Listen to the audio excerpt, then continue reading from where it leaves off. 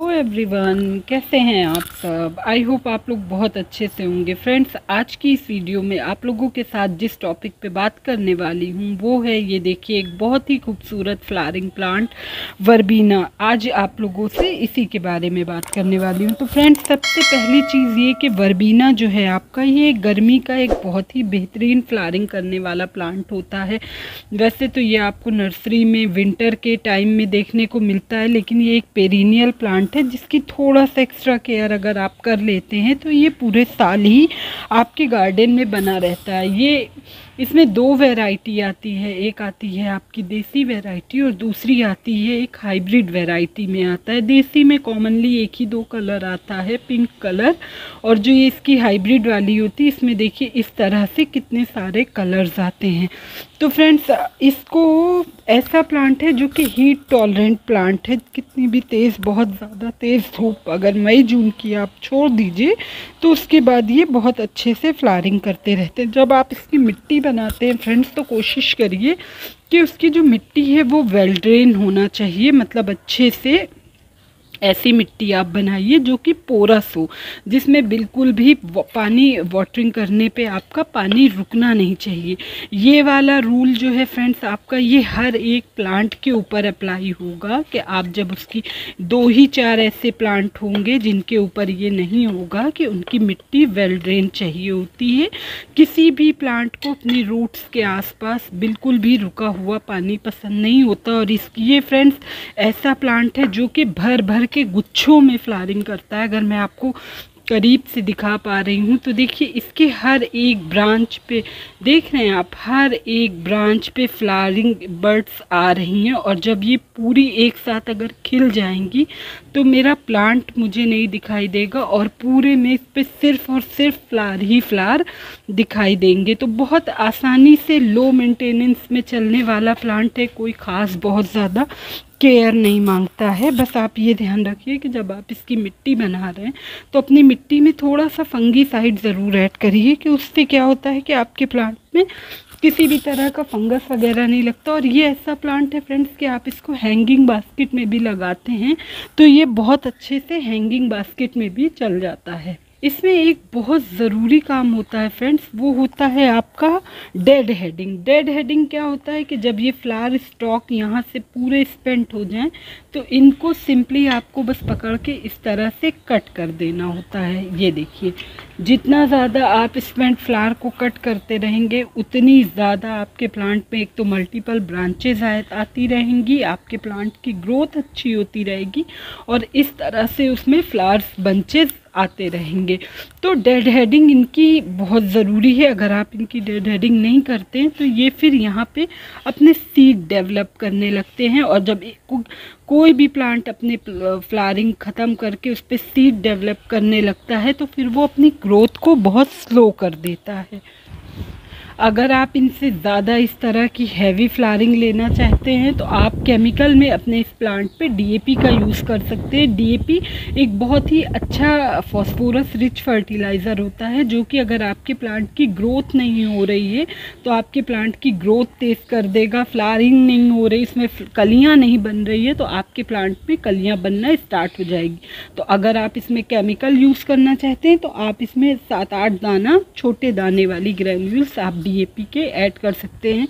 मिट्टी में ऐड कर दीजिए या फिर उसको वाटर में घोल के उसका एक लिक्विड बनाकर आप ऐड कर सकते हैं। ज़्यादा फ्लारिंग अगर आपको चाहिए इनसे तो उसको भी मैं केमिकल में आपको बता रही हूँ। आप केमिकल में पोटैश यूज़ कर सकते हैं।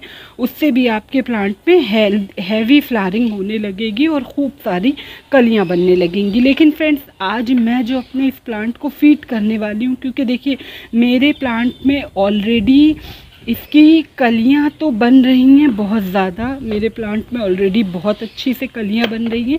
लेकिन अब मुझे अपने प्लांट को कुछ इस तरह का ऑर्गेनिक में खाद दूँगी फ्रेंड्स कि, जिससे कि मेरे प्लांट में जितनी सारी कलियाँ बनी हैं ना, ये सारी की सारी एक साथ खिल जाएँ। तो उसके लिए आज जो फर्टिलाइज़र मैं देने वाली हूँ, वो मैं आप लोगों के साथ शेयर करती उससे पहले आप लोग को एक चीज़ दिखाना है। देखिए, मैंने अपने ये पॉट्स को देखिए, कलर करना स्टार्ट कर दिया। देखिए, मेरा पॉट कितना खूबसूरत लग रहा है। इसका कलर देखिए, कितना प्यारा है। इसकी एक अलग से वीडियो आप लोगों के साथ शेयर करूँगी कि आप भी अपने पॉट को किस कलर से कलर करते हैं। तो बहुत अच्छा कलर आता है और वो कलर आपका बारिश हो, कुछ हो, ये मेरा कलर जल्दी उतरता नहीं है। साल में मैं एक बार करती हूँ, उसके बाद फिर कितनी भी बारिश हो, कुछ भी हो तो फिर साल बीतते बीतते धीरे धीरे ये कलर फेडेड होने लगता है। तो वो आप लोगों से एक अलग वीडियो में शेयर करूँगी। अगर आप अपने प्लांट की इस तरह से पिंचिंग करते रहेंगे तो उसमें मल्टीपल ब्रांचेज आएगी। ये मैं बहुत छोटा सा एक पौधा लाई थी, करीब पच्चीस रुपए की रेंज में, और एकदम सिंगल स्टेम प्लांट था। इसको लगाने के बाद टाइमली हर 10 से 15 दिन में मैंने अपने प्लांट की पिंचिंग करती रही। तो देखिए पिंचिंग करने का एक फ़ायदा ये हुआ कि मेरे प्लांट में कितना जल्दी बुशी हो गया मल्टीपल ब्रांचेज आ गई हैं। इसमें एक इंसेक्ट या बीमारी कह लीजिए फ्रेंड्स इस प्लांट में एक बीमारी लगती है जिसे बोलते हैं पाउडरी मिल्ड्यू उसमें क्या होता है कि आपके प्लांट के हर एक कोने पे उसकी पहली चीज़ तो ये कि आपके प्लांट की लीफ पूरी मुड़ी मुड़ी सी हो जाएँगी। अजीब सी, बेकार बेकार सी लीव आपकी हो जाएँगी। दूसरी चीज़ ये कि उस पर उनकी ग्रोथ एकदम रुक जाएगी, कलियाँ बंद होने लगेगी और वो एक ऐसी बीमारी है कि अगर आपने उसको टाइमली उसका इलाज नहीं किया तो वो धीरे धीरे आपके गार्डन में जितने भी प्लांट हैं, वो सबको इन्फेक्टेड कर देगी। तो उस टाइम में आपको चेक करते रहना होगा। पूरे पत्तियों के पीछे हर जगह आपको जैसे वाइट वाइट पाउडर के तरह दिखने लगेगा। ये दिक्कत अक्सर ये बीमारी आपको टमाटर के पौधे में या मिर्च के पौधे में कॉमनली देखने में मिल जाएगी। उस कंडीशन में आप क्या कर सकते हैं कि एक लीटर वाटर में आप, पहली चीज़ तो ये कि साफ़ का फंगीसाइड एक या डेढ़ ग्राम मिला के अपने प्लांट को स्प्रे करिए अच्छे से और अपने प्लांट को आप हर दूसरे अच्छे अपने हेल्दी प्लांट से अलग कर दीजिए और आप नीम ऑयल का प्रॉपर स्प्रे करते रहिए।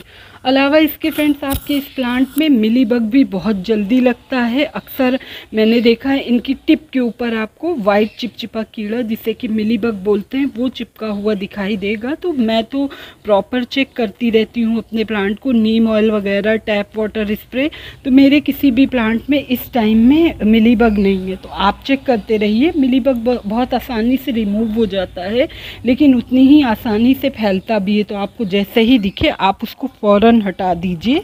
अब बात करती हूँ फ्रेंड फर्टिलाइज़र तो बहुत ही आसान फर्टिलाइज़र अपने प्लांट को फ़ीड करने वाली हूँ। ये है देखिए, एक खाली मग है, इसमें मैंने करीब एक ग्राम के करीब, ये देख रहे हैं आप लोग, साफ़ का फंगी साइड ले लिया जिससे प्लांट में कोई फंगस वगैरह ना लगने पाए। दूसरी चीज़ ये कि इसमें इसमें करीब मैं हाफ़ लीटर से थोड़ा ज़्यादा वाटर ले लेती हूँ। उस फंगी साइड इसलिए ऐड किया फ्रेंड्स क्योंकि जब प्लांट अच्छे से फ्लारिंग करता रहता है ना तो समटाइम्स उसमें फंगस वगैरह ना लग जाए, इसका डर होता है। इसके बाद देखिए जो मेरा फर्टिलाइज़र है वो मेरा ये फर्टिलाइज़र है। आप लोग सोच रहे होंगे ये क्या फर्टिलाइज़र है? तो फ्रेंड्स ये फर्टिलाइज़र मस्टर्ड केक का लिक्विड फर्टिलाइज़र है जिसको कि मैंने करीब एक चम्मच के करीब मस्टर्ड केक के पाउडर को ये दो लीटर पानी में दो दिन पहले भिगो के रखा है और ये देखिए फुली रेडी हो गया है ये। बस इसको ये एक लीटर पानी में सौ एम तक मिला लूँगी उससे ज़्यादा नहीं ऐड करना है मुझे। इस तरह से। कभी भी आप इस लिक्विड को बहुत सॉलिड मत फ़ीड कर दीजिएगा, वरना आपका प्लांट जल जाएगा देते ही। इसके बाद एकदम जितना पतला से पतला मिक्सचर बना पाइए बना लीजिए। उसके बाद ये करीब मैं तीन से चार सौ एम के करीब अपने प्लांट को फ़ीड कर दूँगी। इस लिक्विड को देते टाइम आपको एक चीज़ ये ध्यान रखना होगा कि आप इस लिक्विड को अपनी पत्तियों पर मत डाल दीजिएगा। अगर आपने इस लिक्विड को अपनी पत्तियों पर डाल दिया तो आपकी पत्तियाँ जलने लगेंगी। जब इस पर धूप पड़ेगी तो आपकी पत्तियाँ जल जाएँगी। इस फर्टिलाइज़र को देने के दो से तीन दिन के अंदर ही मेरे प्लांट पे ये जो इतनी सारी मल्टीपल ब्रांचेज और ये बर्ड्स आई हुई हैं, सब एक एक करके खिलना स्टार्ट हो जाएँगी। होप ये इन्फॉर्मेशन आप लोग को अच्छी लगी होगी। फ्रेंड्स अगर अच्छी लगी तो प्लीज़ चैनल को सब्सक्राइब करिएगा इन वीडियो को लाइक एंड शेयर मिलती हूँ किसी नेक्स्ट वीडियो में। Okay friends bye